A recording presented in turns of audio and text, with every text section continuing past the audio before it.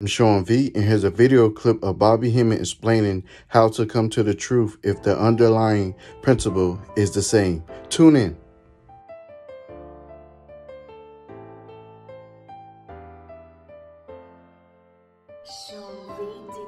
There's so much lies and so much misconception till we'll go, well, nothing is true, all is permitted.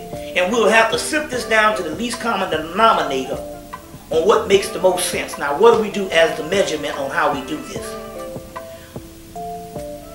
What you do is you take a principle, an underlining principle, that I don't care what customs you have or what culture or what language you have. If you have a story told around the world and the principle always ends up the same, then that's closer to the truth. Because here it is, how can you have different culture, different language, different people, and a different mythology, or a different folklore, but the underlying principle means the same. That's closer to the truth. And that's how you get to the truth. When you can find a synchronicity and a comparativeness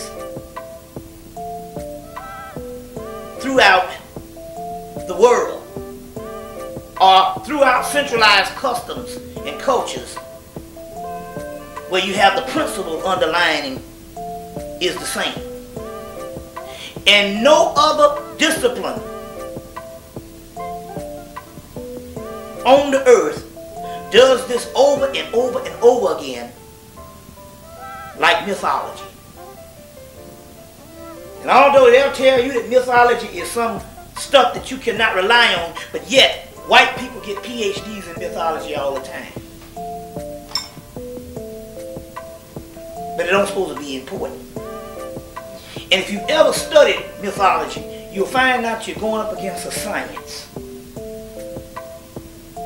And I believe in some cases it would probably be easier to study mathematical equations than to try to get greater understanding and grasp this mythology. Feel free to comment, like, or share your thoughts on what Bobby Hemmitt said in the video. I'm Shawn V, and thanks for listening.